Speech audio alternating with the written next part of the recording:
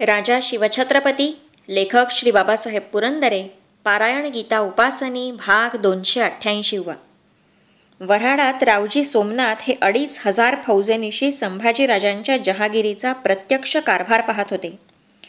पळून जाण्यापूर्वी प्रतापरावांनी व पंतांनी वऱ्हाडात स्वार पेटाळून रावजींना कळवलं की औरंगजेबानी असं असं फरमान सोडलंय तरी तुम्ही पळून रायगडास येणे आम्ही निघालो आहोत. हा निरोप रावजींना मिळाला. रावजी हे खरोखर फार चलाख आणि डोकेबाज गृहस्थ होते. कोकणातील त्यांची कामगिरी आठवतीये ना? खरोखरच हुशार. स्वतः होऊन बुद्धीनी व उत्साहाने एक एक गोष्टी करून दाखवित ते. महाराज रावजींवर खुश असत. रावजींनी ओळखलं की औरंगजेबाचे माथे आता भडकले. आग्र्याच्या प्रवास खर्चाचे लाख रुपये कापून घेतोय आणि धरपकडीची कपटी कारस्थाने करतोय. याचा अर्थच असा की त्यांनी महाराजांशी केलेला तह मोडला आहे. पुन्हा भांडण उभं केलंय. संभाजीराजांची मनसबही संपली आहे. मग आता आपण तरी गप्प का राहावे? महाराजास अशा रिकाम्या हाताने भेटावयास जायचं? बरे नव्हे जड हाताने गेले पाहिजे. रावजींनी वऱ्हाडातून निघून येताना शाही मुलखातील ठाण्याची दाणा दाण उडवून दिली लूट केली. लाखो रुपये त्यांनी गोळा केले. हा नजराणा घेऊनच ते राजगडाला निघाले. प्रतापराव व निराजी पंत यांनी भीमा ओलांडली आणि मागोमाग रावजींनीही पैनगंगा ओलांडली. औरंगजेबाने स्वतः होऊन तह मोडला.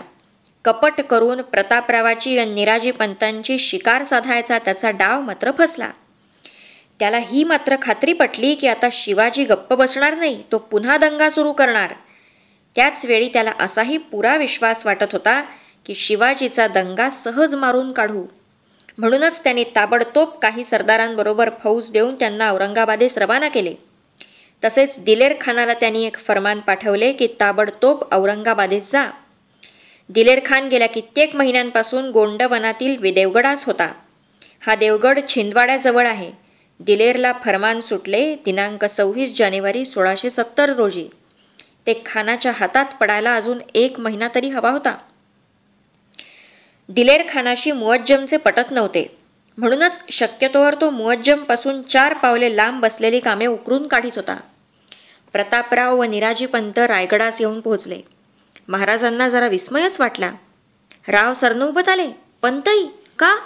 असे एकाएकी काय बेतावर येणे केले दोघांनी? काहीतरी भानगड असली पाहिजे. काय भानगड असेल?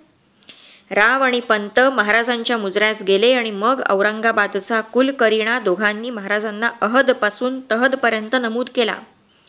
लाख रुपयांचा प्रवास खर्च बादशावानी मनसबेतून कापून घेतल्याची वार्ता आधीच महाराजांना मिळाली होती. त्यात हे दुसरे दगाबाजीचे राजकारण समजले. शहाजादा मुहब्बत मर्जी करत होता म्हणूनच प्रतापरायाचा आणि पंतांचा घात टळला. नाहीतर महाराजांचे दोन जीवलग औरंगशहाच्या काळझडपेत गवसून बळी गेले असते. शिवाय आनंदराव मकाजी प्रल्हादपंत रावजी सोमनाथ यांच्यासारखी अमोल माणसेही सापड्यात सापडली असती. पाच हजार घोड्यांची पागा शिबंदी असबाब जखीरा धोक्यातून वाचला. श्रीने शहजाद्यास प्रेरणा दिली. झाल्या प्रकारातून सर्व चांगलेच घडलेले पाहून महाराजांना फार समाधान वाटले. तह मोडला बहुत उत्तम झाले. कोणास हवे होते कायमचे बंधन? संभाजीराजांना दिलेली पाच हजार स्वरांची मनसब आपोआप सुटली. चांगले झाले. तीन वर्षे स्वराज्याची घडी बसवावयास शांततेचा अवधी मिळाला. पाच हजार स्वारांचे औरंगजेबाच्या तिजोरीतून परस्पर तुडुंब पोट भागले. गडी घोडे ताजे झाले. शिवाय मोगलाई वऱ्हाडची ओळख झाली उत्तम झाले. महाराज खुशाल जहाले आणि बोलिले की दोन वर्षे लष्करचे पोट भरले आणि शहाजादा मित्र जोडीला ही गोष्ट बरी झाली. आता मोगलाई मुलूक मारून खावयास वाव जहाला. श्री जगदंबेची कृपा. तह मोडला गेल्यामुळे राजगडावर नवीनच उत्साहाची हालचाल सुरू झाली. चार वर्षे विसावलेली वीरश्री पुन्हा उसळ्या मारू लागली पागा फुरफुरू लागली आणि मग कुणाकुणाच्या झाकलेल्या लपलेल्या इच्छा हौशी अलगद डोकीवर काढू लागल्या. आईसाहेबांच्याही. रावजी सोमनाथ वऱ्हाडातून आले. ओंजळी भरभरून धन घेऊन आले. रावजींना वऱ्हाडची चांगली ओळख झाली होती.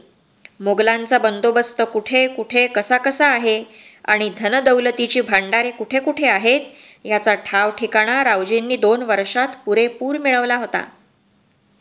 बाळापूर माहूर एलिचपूर नरनाळा मलक्कापूर साखरखेरडा आणि गाविलगड हीच मोगलांची मुख्य लष्करी ठाणी होती.